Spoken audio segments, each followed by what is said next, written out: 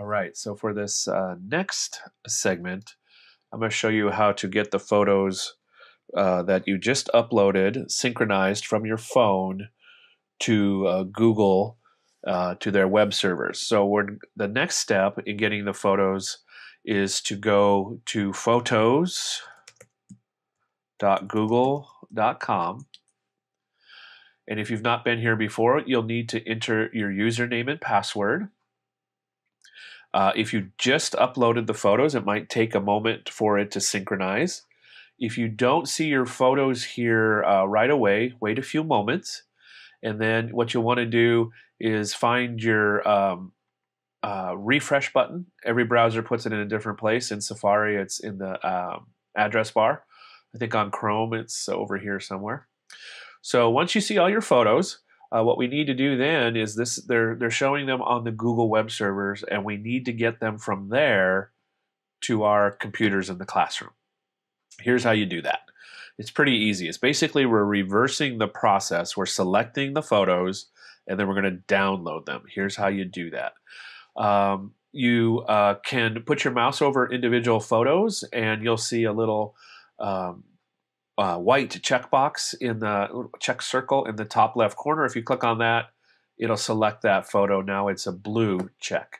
Uh, if you want to select all the photos for a day, if you put your mouse over the date for the photo, you can then uh, click on that date and it will select all the photos. Again, they're designated selected when they have a blue check circle in the top left corner.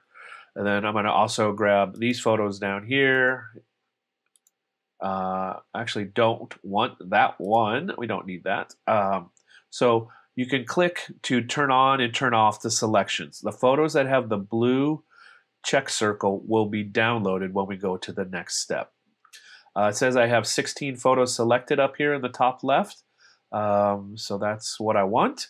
And then the next step is to go to the blue three dots that are stacked in the top right and click on that and then the option we want is at the top. It's download. So click on that. Um, so let's, oh, I have a video in here, so it's not quite done with that one yet. So I'm just going to go ahead and download the 15 items. And then uh, you'll see, a, if you're using Safari, you'll see a progress bar right here in the down, download uh, area. If uh, you have, uh, if you're using Chrome, it'll be down here in the lower part of the dock.